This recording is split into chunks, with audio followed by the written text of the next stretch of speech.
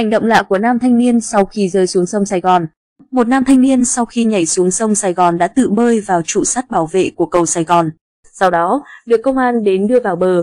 Ngày 26 tháng 12, lực lượng chức năng thành phố Thủ Đức, thành phố Hồ Chí Minh đang làm rõ hành vi nhảy cầu Sài Gòn của một nam thanh niên.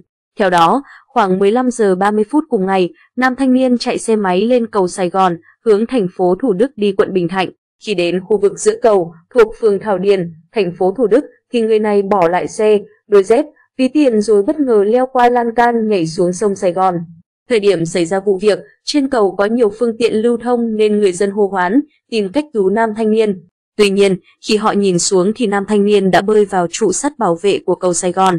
Nhận tin, lực lượng phòng cháy chữa cháy và cứu nạn cứu hộ công an thành phố Hồ Chí Minh đã lái cano đến đưa nam thanh niên lên phương tiện rồi đưa vào bờ.